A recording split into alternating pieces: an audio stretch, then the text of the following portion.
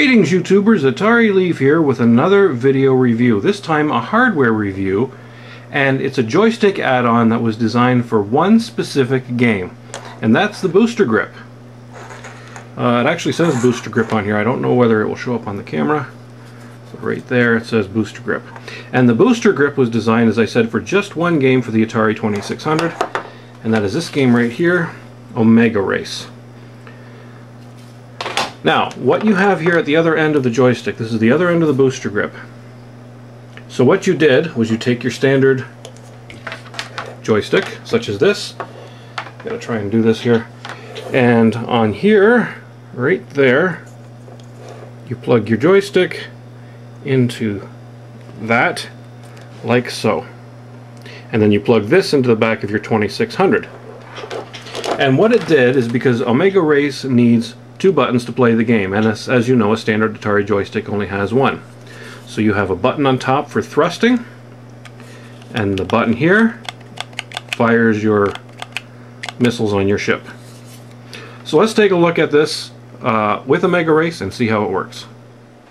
Okay, so this is how it looks on your joystick. Sits on there like that. Now the joystick, the actual joystick on the Atari 2600 is not used at all. I don't know why. They could have just used one button on top perhaps and used the regular joystick for the other part, but that's the way they made it. So that button doesn't work at all.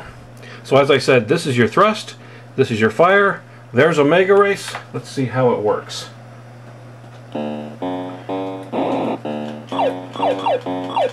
Oh, sorry for the poor quality of the screen, that's just the way the EZ-Cap is on the computer. It's a little hard to get used to actually.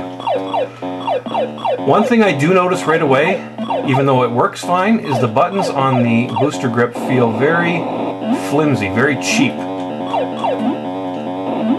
Although it is working fine. And I just got wasted.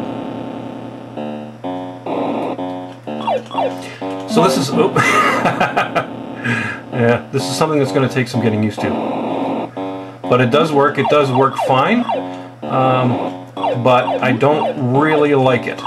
Like I said, it feels cheap, and in actuality, ugh, this is a completely, completely unnecessary piece of equipment. Uh, I've said this before when talking about Omega Race. I have no idea why they didn't just use a standard asteroids control scheme where uh, pushing up on the joystick is thrust. I don't know why they did that, but uh, that, this is the way they chose to go. It was a gimmick as far as I'm concerned, and an unnecessary gimmick. Now, if you don't have a booster grip, but you have a ColecoVision controller, that apparently will work too, but I haven't tried it. But as it stands, the booster grip, although works fine, like I said, feels cheap, doesn't feel like a very a good quality product. But if you want to play Omega Race and you don't have a ColecoVision controller, uh, you might be stuck, because you have no other way of playing this. This is Atari Leaf with another quick hardware video review. Thanks for watching, everybody, and have a great day. Booster Grip.